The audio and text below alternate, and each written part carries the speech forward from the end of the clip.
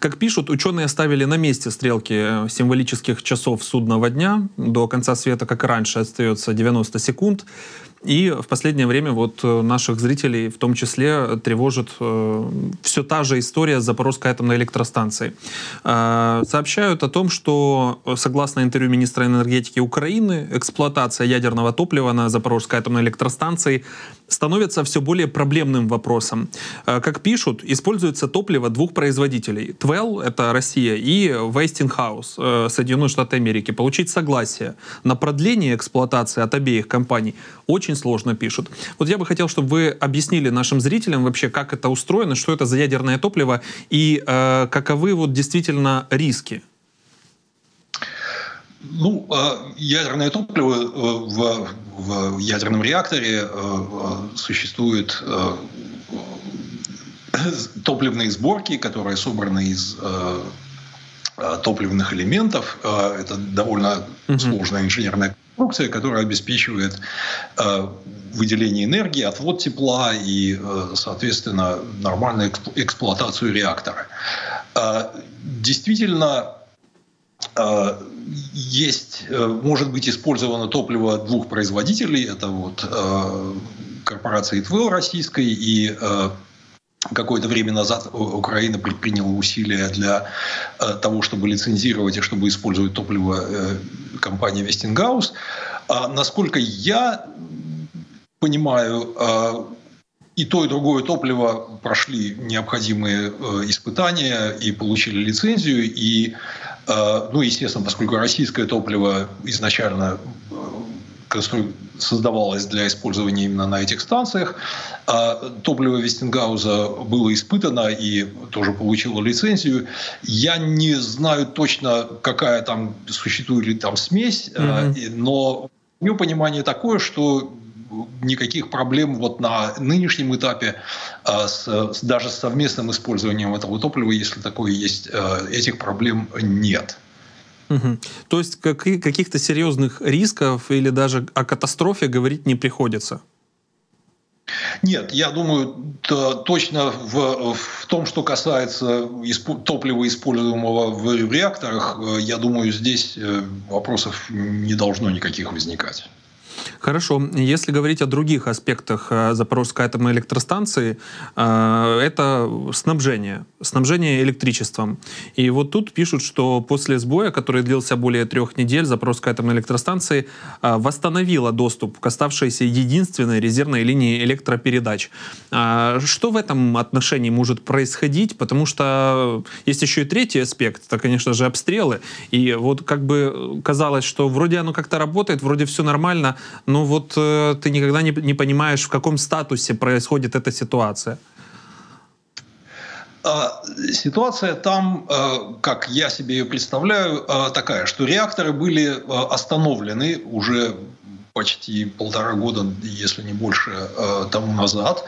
В этом, в этом смысле вот активной ядерной цепной реакции там э, уже не происходит довольно долго, но существует так называемое остаточное тепловыдделение. Это те э, продукты распада, которые образовались в ходе работы реактора, они продолжают выделять тепло. И, э, естественно, со временем мощность этого тепловыделения она уменьшается, но, тем не менее, все равно остается. А, и для того, чтобы это тепло отводить, нужно постоянно прокачивать через э, активную зону, прокачивать воду, охладитель, который будет, соответственно, это тепло уводить оттуда. А, ну и, естественно, для того, чтобы э, эти насосы работали, вам нужно электричество, и это электричество вот поставляется э, снаружи, и, или в случае нарушения нормального электроснабжения станции, там существует mm-hmm. дизель-генератор, которые позволяют в течение какого-то времени эту работу обеспечивать.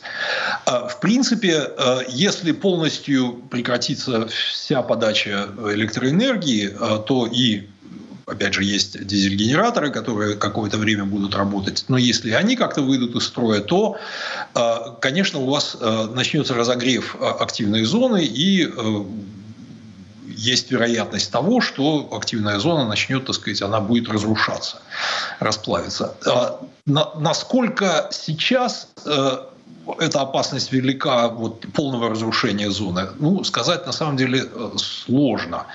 А все-таки, поскольку прошло уже достаточно много времени с, с момента Станова, а, то, наверное, катастрофического вот такого расплава не, не произойдет.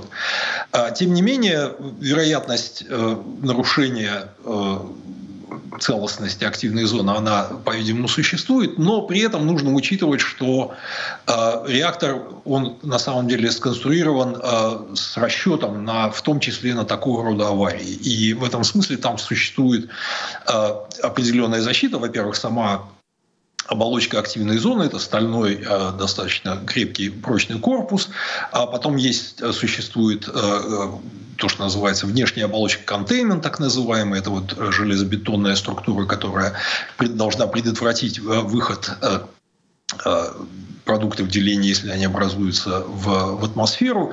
То есть в этом смысле я думаю, э, что э, определенный запас прочности у станции mm-hmm. есть. Вот. Но тем не менее, конечно, э, очень важно, чтобы снабжение электроэнергией не, не прекращалось. И, или, во всяком случае, не прекращалось бы на достаточно долгий промежуток времени. Ну вот за исключением тех э, ограни- ограничителей, которые вы перечислили, получается весь мир э, сейчас держится на одном каком-то генераторе, который, да, даст бог, не сломается в ходе своего, своей работы. Ну, э, здесь драматизировать тоже, наверное, не сильно не стоит. То есть э, не, нельзя, с одной стороны, недооценивать опасность, а но с другой стороны, э, нельзя ее и переоценивать тоже. То есть вот э, я, в моем понимании, э, опять же, а если вдруг нарушится снабжение э, электроэнергией, то определенный запас по времени там будет существовать э, для того, чтобы принять какие-то меры. И, в принципе, я думаю, что если персонал станции будет действовать грамотно, то, в принципе, они предотвратить выброс радиоактивности в атмосферу они должны, должны суметь. Вот. А здесь э, сравнение на самом деле может быть, наверное, э, с той аварией, которая была в, э, Японии, в Фукусиме в 2011 году. А, но там реактор был, реакторы были работающими, то есть они были там тепловыделение было очень значительным, и, и там отсутствовали определенные э, механизмы защиты, которые на Запорожской как раз станции есть. Э, то есть, э, опять же, я думаю, что э, это нужно очень сильно запустить mm-hmm. ситуацию для того, чтобы произошел какой-то серьезный инцидент с выбросом радиоактивности. Ну, поскольку, видите, россияне Путин оставляет за собой Запорожскую атомную электростанцию, то, в принципе, мы, а, мы вынуждены рассматривать и такие варианты, в том числе, зная цинизм а, этого э, э, режима и, и принятых решений ранее, в том числе. А, так вот, ну вот, если перейти, может, даже в политическую плоскость, для каких ситуаций Путин оставляет за собой контроль над Запорожской атомной электростанцией? Ну, мне здесь сложно судить. Э, как, насколько я могу понять, здесь э, вопрос скорее э, политический, если хотите. То есть, поскольку Россия считает, что эта территория теперь принадлежит России, то, соответственно, все, что на этой территории расположено, в том числе атомная станция, тоже вроде получается принадлежит России. То есть, вот в представлении Москвы.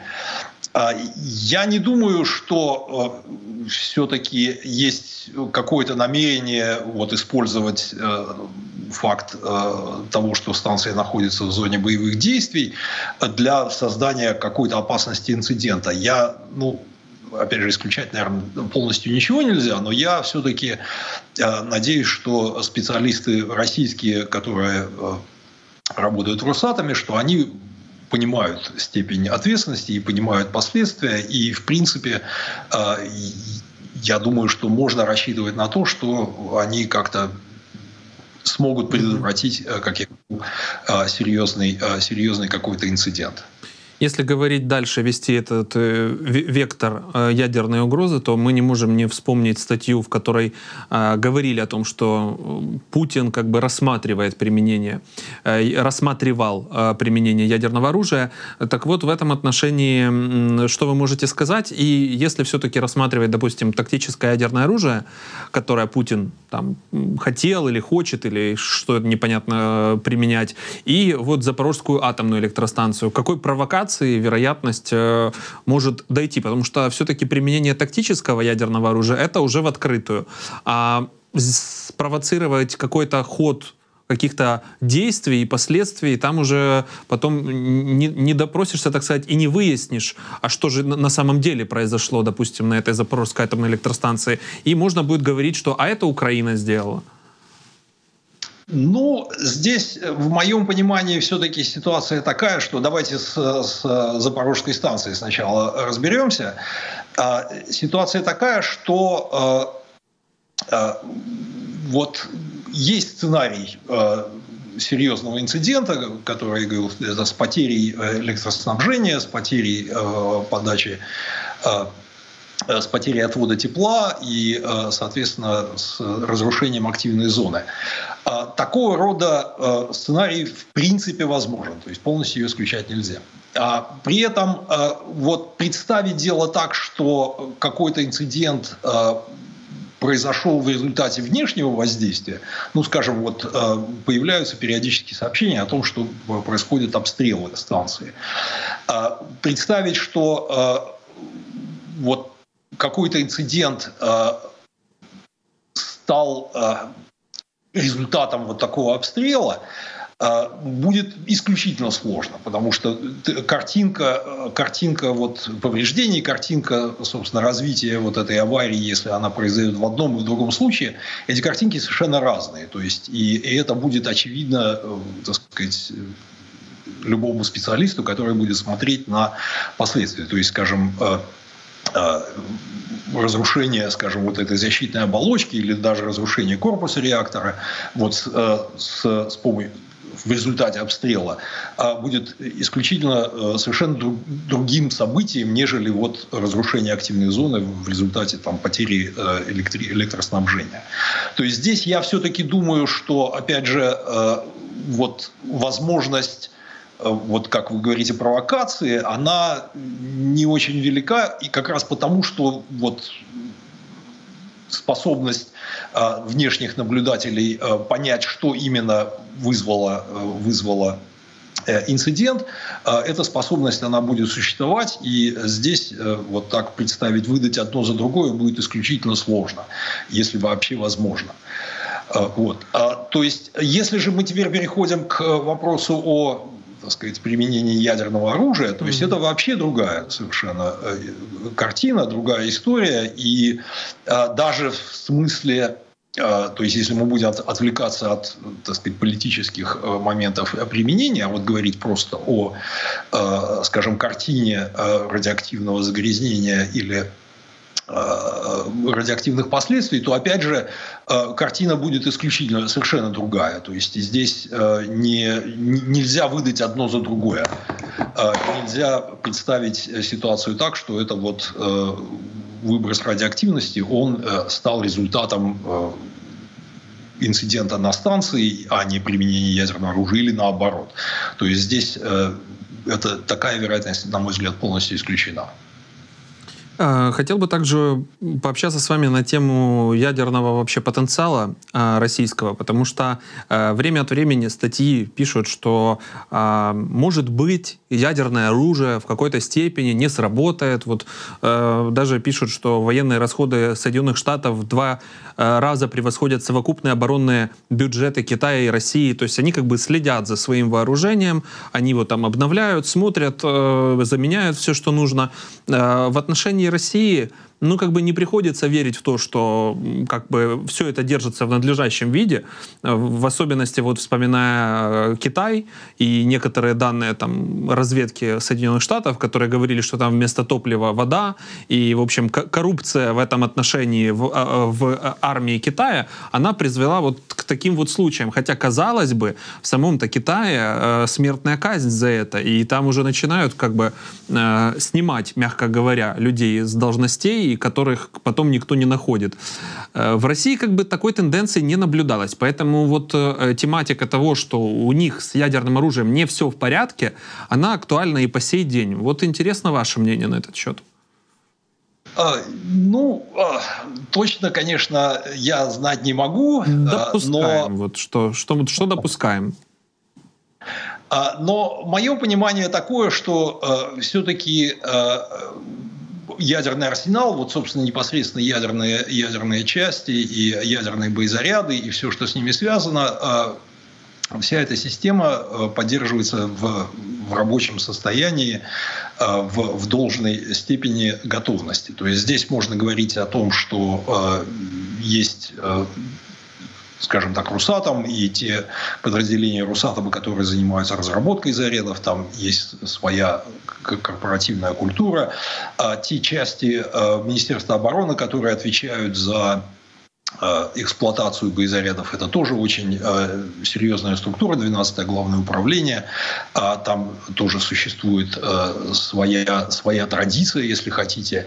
А, то есть это достаточно сильный институт вот, который, начало, который берет свое начало еще, так сказать, в 40-х, 50-х годах э, прошлого, прошлого века. То есть здесь, я думаю, э, что традиция ответственного э, отношения к тому, что там происходит, она существует, и я думаю, что здесь особых вот сомнений у меня, например, нет. Угу. Ну, даже если представить, что э, вот есть какие-то, скажем так, ну, как любая инженер, инженер, инженерная система, как любая система, понятно, что ядерное э, оружие тоже э, подвержено каким-то, каким-то э, если не неисправностям, то, во всяком случае, не, не существует э, стопроцентной, э, стопроцентной э,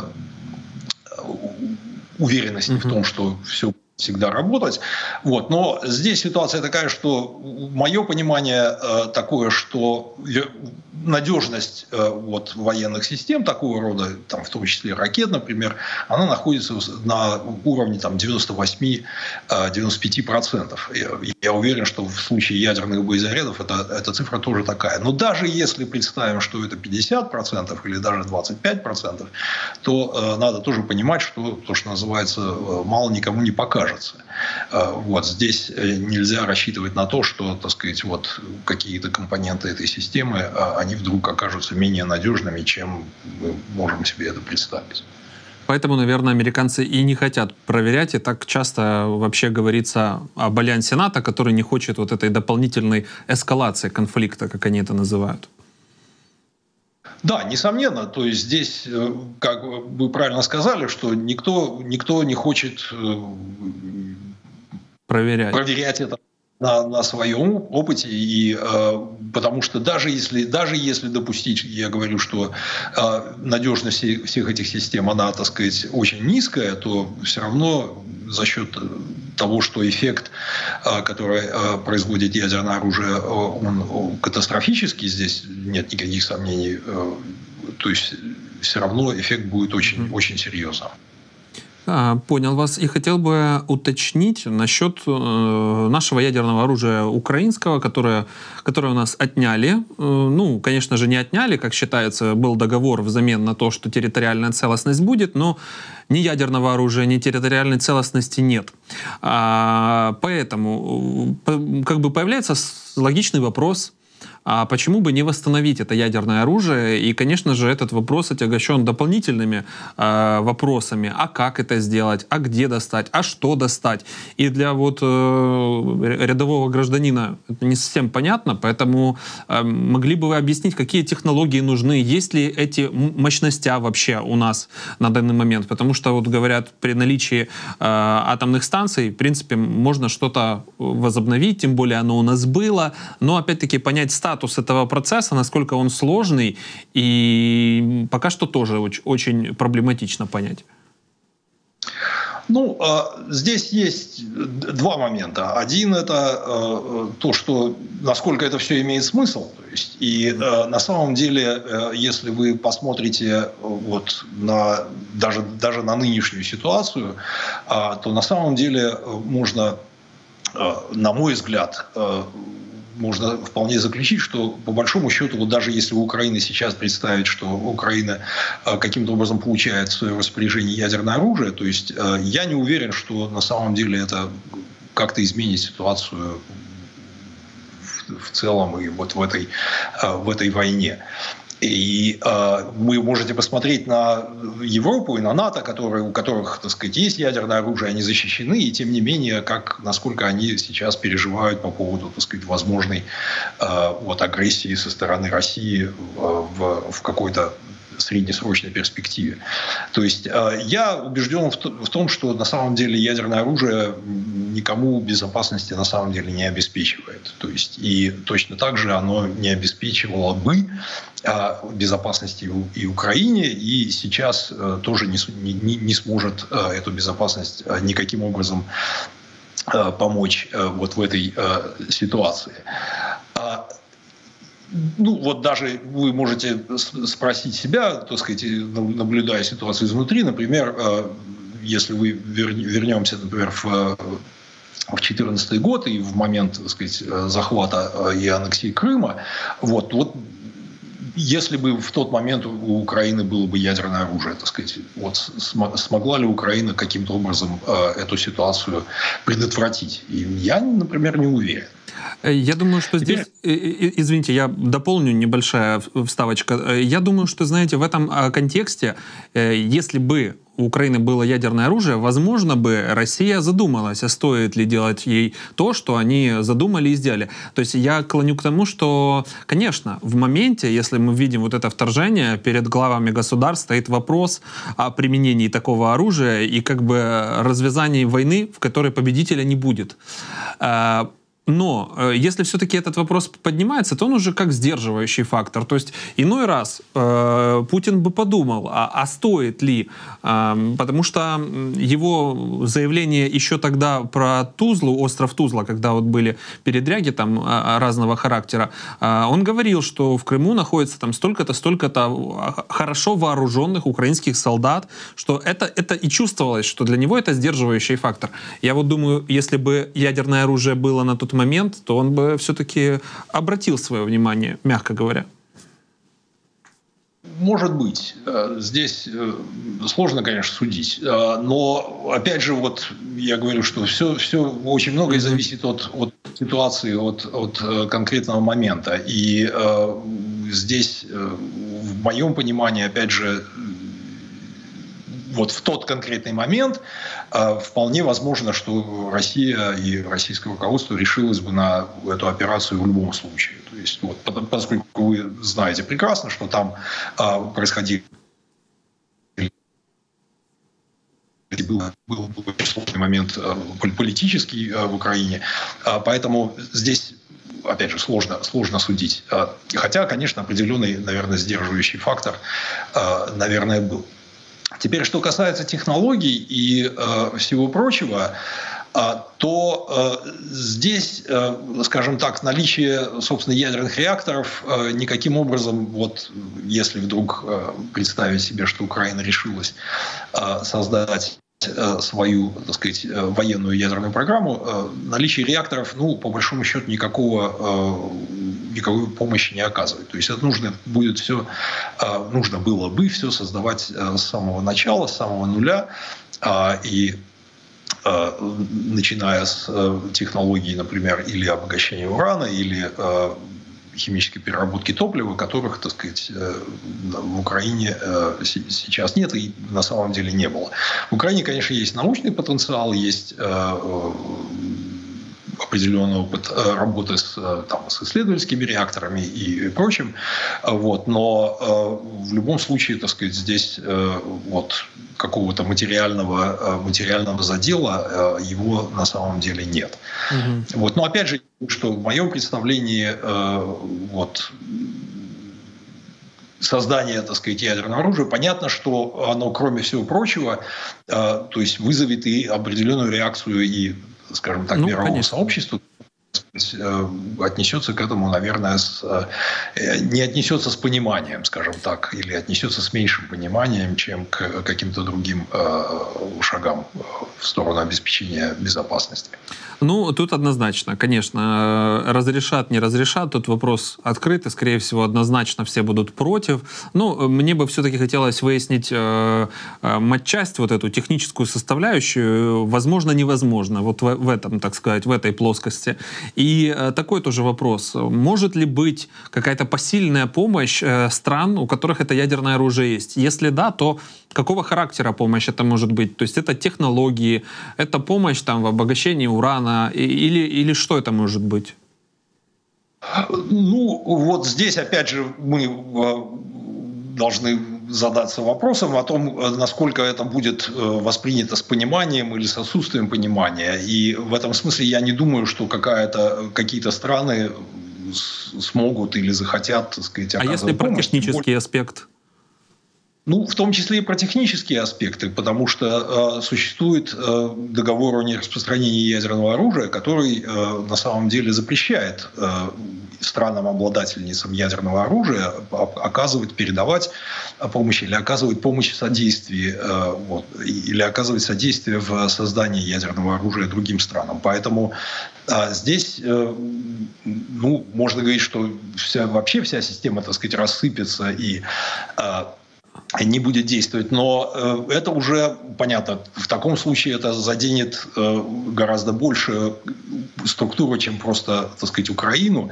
А, и я не думаю, что э, кто-то из нынешних стран-обладательниц ядерного оружия захочет, так сказать, такого рода шаги предпринять. Ну, тут я вам в пример могу привести Израиль, у которого считается, что этого ядерного оружия как бы нет, но в то же время считается, что есть. То есть э, какая-то вот такая история с двойным дном. И вот такие Франция, по-моему, если не ошибаюсь, или в 60-х годах или что, ну как-то, в общем, помогала в разработке. И мне стало интересно, та же Франция, тот же Макрон, который сейчас э, рассказывает, о, ну, хочет вот взять первенство, он говорит, что красные, красных линий для него нет. Так вот, если нет красных линий, так может помочь с ядерным оружием Украине? Ну, а, а, с, с Израилем ситуация такая, что Израиль никогда не был а, участником договора о нераспространении ядерного вооружения. И да, действительно, тот реактор, который в свое время Израиль использовал для разработки, наработки плутония. Э, вот, он действительно был создан с помощью э, Франции. Но это было до того, как вообще существовал договор о нераспространении ядерного оружия. И тем более до того, как Франция к нему присоединилась. Франция вообще к нему присоединилась в 90-е годы. Поэтому здесь, опять же, мы говорим о том, что вот такого рода помощь, она означало бы э, полный, полный так сказать, слом вот этой системы э, нераспространения, который э, на, самом деле на который не пойдет, я уверен, ни, одна из стран обладательниц ядерного оружия. Ну и я еще раз повторю, то есть, на мой взгляд, опять же, если мы говорим о скажем так, о безопасности Украины э, и обеспечении безопасности Украины э, как, как суверенного государства и отражении, так сказать, вот той агрессии, которой Украина подверглась, то я, например, убежден в том, что создание Украины ядерного оружия в этом смысле ответом совершенно не является. То есть есть, есть способы и должны быть найдены способы, которые заставят, которые приведут ситуацию, так сказать, к, к, к норме, приведут ситуацию к международно признанным границам, и которые гораздо более, на мой взгляд, надежные и разумные, нежели вот, чем создание, создание Украины собственного оружия. Павел, спасибо, что отвечали на мои вопросы и помогали нашим зрителям разобраться в этой непростой теме, и мне в том числе. Спасибо вам большое.